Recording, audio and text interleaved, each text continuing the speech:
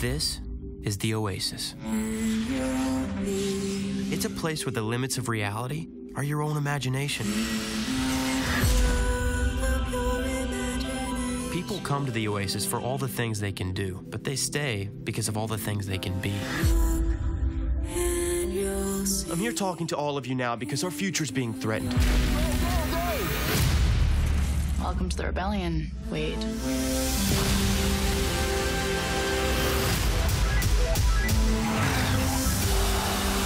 Oasis, I found something much bigger than myself. I found my friends. I found love. Ask yourselves, are you willing to fight?